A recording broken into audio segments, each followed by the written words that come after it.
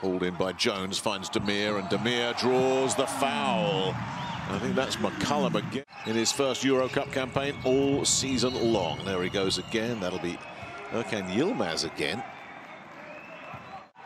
Not going to get a shot off with Woodard there, so he'll have to drill it. Oof, somehow Bouteille, that's uh, rather Yilmaz, that's lovely.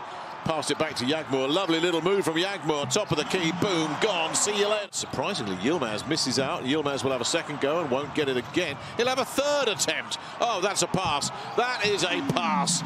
Tyreek Jones. I think everybody was expecting another the triple.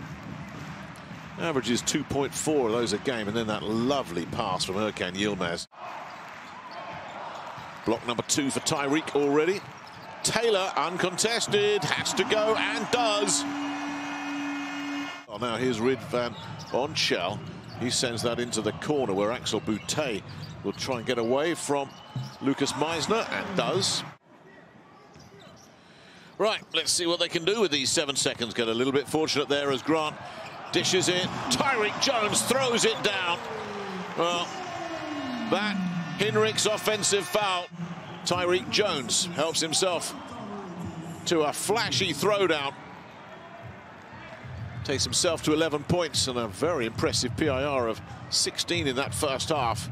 And instead of Hamburg having the last word in the first half, it was Turk Telekom Ankara emphatically having the final say. That is rocking the rim. Can't get the shot away. Bouteille was there. Back it'll go to McCullum. McCullum will drive in here, and uh, that's really nice. Jones was thinking, hey, I got myself a third block hit. Polite gets it back to McCullum. McCullum trying to drive his way to Phillips. Yeah.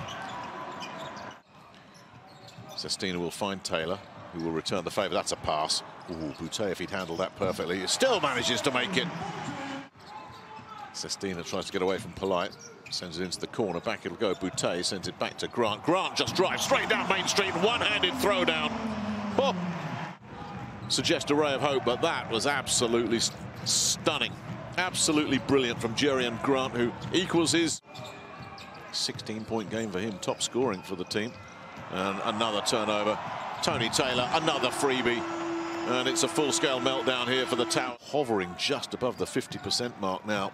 Three-point shooting, nowhere near anything. Bouteille, yeah. Axel Bouteille takes himself. So Hinrichs is uh, denied an assist. There's going to be one last shot here for Axel Bouteille. There is.